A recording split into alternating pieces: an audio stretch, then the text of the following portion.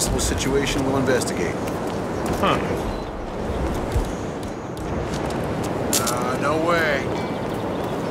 Oh, Mazel tov to me.